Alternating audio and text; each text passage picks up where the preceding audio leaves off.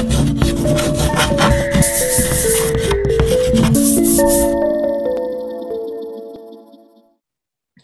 hi, everyone. I'm Sebastian Flores. I'm 15 years old and I am the founder and owner of my own business, OctoGifts. And today I'm just going to be walking you through kind of what that means, what I do like on a day to day basis, how I handle everything like that, and then also how I got started running my business, and then also just how I've gotten to where I am today. And then at the end, I'll give you some tips and some advice if any of you want to do what I've done. So, my business is called OctoGifts I started it in January of 2019 when I was 13 because I wanted to find a way that I could make money. Obviously, as a 13 year old, I couldn't go out and get a job working at like a restaurant or a grocery store.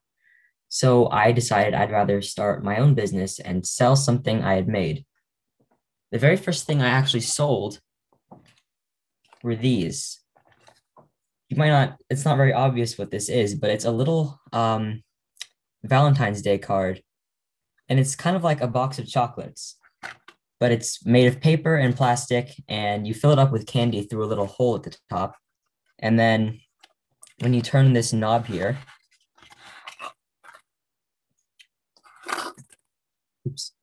uh, the candy actually dispenses. So it's really just a fun little uh, Valentine's Day gift that you can give to people. And after those kind of took off when I started selling them, when Valentine's Day was over, I couldn't sell them anymore. So I redesigned it as kind of like an all-purpose, uh, basic like gumball machine, just the kind of thing you'd see like at a movie theater at the grocery store. And I've taken that idea and ran with it. So here I have another one. These are actually sold as part of a fundraiser for my high school. They've got the little school logo and then like the cap and gown, like a cute little tassel on top. They were as part of a fundraiser so I could raise money for the senior class. Just they could have like a fun little thing at the end of the year. And then I have this one, which I sold for the holidays as part of a pack of three. It's like a snowman shape. So you can see even got the little top hat that comes off so you can fill it up with candy. Buy these, they come as this plastic envelope here. And I actually, I designed this, all this stuff I've done myself. This was just done in Adobe Illustrator. Um, and the photo I actually took with my phone in a light box I built myself too. So inside this package, there's just all the parts I use to make the machines. And then on the back here, back of this insert, there's a QR code. And if you scan that, it takes you to a page on my website where I've put together some videos that just walk you through how to make them so you can really follow along and just put them together yourself. And making these kits was actually probably the biggest challenge that I faced with this uh, project, well, really, this business, because I had to not only make sure what I was making was something everyone could do, but also make sure it was protected. Because if I'm sending out the pieces I'm really exposing my like my secrets, like the how I do everything. So I want to make sure I was protected and everything was legally in place. Um, when I was started this business, really it was really it wasn't a business when I first started it. Uh, it was more of an idea. In January 2019, which I mentioned earlier, I wanted to sell things and it was right around Valentine's Day. So I started making this first one. I actually designed this using PowerPoint and then I printed out the pieces on PowerPoint and I cut them out with scissors and assembled the first version of what you just saw. And it was not good. It didn't work at all, but I kept at it. And after I think three or four more iterations, I finally had something that actually worked. So I bought all the red card stock that I needed. And I stayed just using my PowerPoint and scissors, cutting out parts. And it took me like two hours to make one. So eventually I found ways I could speed that up. I invested in a desktop cutting machine called a Silhouette. So I just, I had the files that I converted from PowerPoint files into these Silhouette files. And then I just hit a button and it sends them to the machine and they, the machine cuts out the pieces with a special little knife and then you just peel them off and I had them ready and they were much more precise and it was much faster than cutting out by hand. But even that was a little slow when I started getting bigger orders.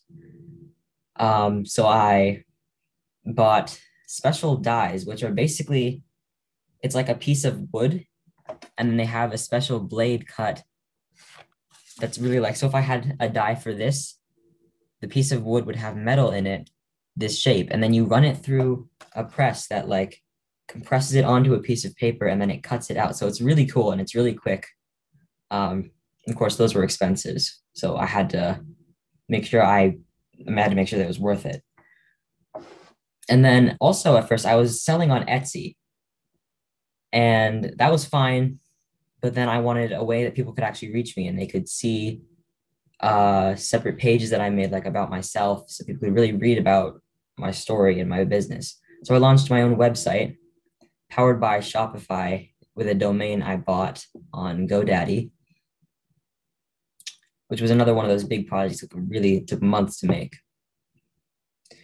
And from then I just kept building. So now I have Adobe Illustrator, which is much more professional that I use to design my pieces. And I same that's the same program I used design this insert here that goes in the front of all packages. And I've really come up with all these different tips and manufacturing processes and written like standard operating procedures that I can pump out these kits and large scale orders. Like recently, I've gotten a few orders. Like there's a school up in Boston that just ordered a bunch of these for their graduating class, not with this logo, with their own logo on them. But that's the type of thing where it just really helps to be able to make a lot of something quickly or to just have it stocked up. And I was told that a lot of you uh, are interested in entrepreneurship and just running business, which I really think it's it's really been a great experience for me. And the few things that I would tell you if you want to start your own is use the fact that you're young to help people really find you. Because sure, they could go support some faceless organization like Amazon and where it's just a business transaction, or they could go support the young person that lives down the street from them. And obviously, they'd rather support the young person. So make sure you really build your story as part of what your brand is. It's part of who you are.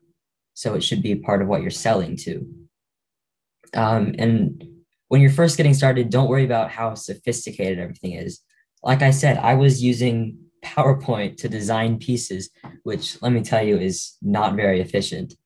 And I was just cutting them out with scissors, and really, what I was producing was pretty mediocre. But people loved it because I'm young and they were supporting the kid in their neighborhood.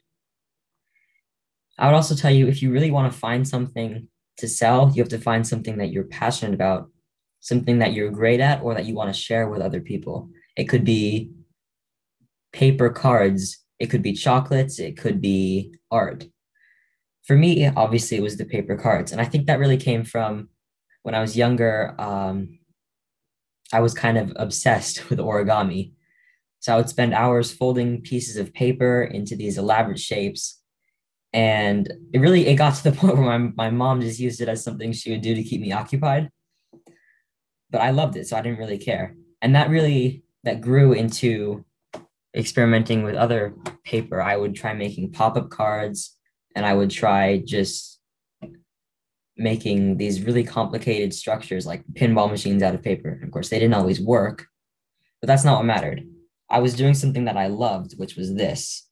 And now I've turned that into something I can sell and something I love to share with other people. I'd also tell you remember that everything that you do in your business is yours. So it's what you want to do is your choice. And of course, find people that are older than you, like your parents or older siblings or mentors that you can look to for guidance and help. But ultimately, every decision you make should be yours. Make sure you're doing what you want, or else it just kind of starts feeling like a chore. And that's kind of like this past year, I've actually, um, I've actually been my my mom used to be a lot more involved uh, with this, but she recently got a new job, so now I've been taking up more of the responsibility, and I've loved it. it's really been great to actually have to be in control of everything. It's really like empowering to be able to do everything that you want to do with your business. Hi, Sebastian. iCAN Leanne here. Has OctoGifts changed the career path you want to go down? Um, I've always really wanted to be, both my parents are engineers, so I've always wanted to be an engineer. Uh, I think this really just cemented that. I mean, I've loved creating things since I was like a little kid. I've always loved how things work. Like I would sit by the pool for hours just pouring water back and forth because I loved watching the way it moved. So that's something that's always interested me. So then mechanical engineering has been something that's always drawn me. Like I think since I was six years old, I always know I want to be a mechanical engineer. So I think this really just kind of cemented that, confirmed for me that this is what I love doing. So no, it hasn't really changed everything. What do you think is the most important thing you've learned from starting your own business? I'd say it doesn't really matter how good of a product you're selling. If you don't have people you know that can buy it or people that will help you make connections, that's really the most important thing you can have is connections with other people that will hook you up with like um, new ways to do this or like uh, manufacturing opportunities. Or even just people like if you know a large school or business that would want to place an order it just really helps in knowing people which is why it's nice to get involved with community um, workshops like the like tech development centers or startup accelerators. Tell us more about that. Have you participated in any workshops uh, I'm actually a member of ATDC, which is the Atlanta Tech Development Center.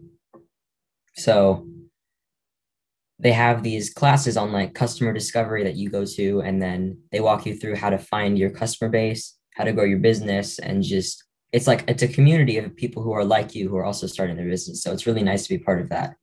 And then the people there can also really help you find connections um, help you like just things you wouldn't be able to do on your own. What is something you have struggled with while running OctoGifts? Well, one of the things I've kind of like struggled with, obviously, balancing knowing I have to like produce so many kits with wanting to like go out with my friends or like um I don't know, just play video games. It's just it's hard um, kind of not I wouldn't say forcing yourself, but just knowing that you have to it's a responsibility that you have. So it's a lot of responsibility. Uh, I guess I'd say it's even more so than just like going to a job because it's if especially if you're running it out of your own home, there's always distractions around you. So it's hard to not get distracted. And that's something I've kind of struggled with. And it's always also, I remember into uh, like 2019 when I first started this and I was making all these by hand instead of making them as kits, um, I would sit in the basement for hours just cranking them out while I watched TV or listened to music. And that kind of fizzled a little bit. I kind of, that like fire I had for this kind of dwindled down until recently this year. I was talking a lot with my mom and we kind of um, she's she kind of decided she wanted to step away a little more and then give me more responsibility with this. And I think that's really been great for me because I kind of found that fire again. It's like this is now this is something I I remember why I loved doing this so much when I was like 13. And I mean I never really stopped. It's just I would not have the same like passion for it that I did when I first started. So obviously, if you're wanting to start a business or something, just remember it's really easy to forget why you're doing it. Where do you see OctoGifts going in the future? I don't really see myself doing this after I graduate high school. So really I want to use this I wanted to use this as something I would just save up for college, you know, make money throughout high school, and then I don't know, use the skills I've learned with this later down the line to maybe start a different business. Thank you so much for sharing with us what it's like to be a young innovator and entrepreneur. Okay, well, thank you all so much for watching this. If you want, you can reach out at my website, which is octogifts.com. That's O C T O G I F T S.com. Or you can email me at info at octogifts.com. Thank you all so much.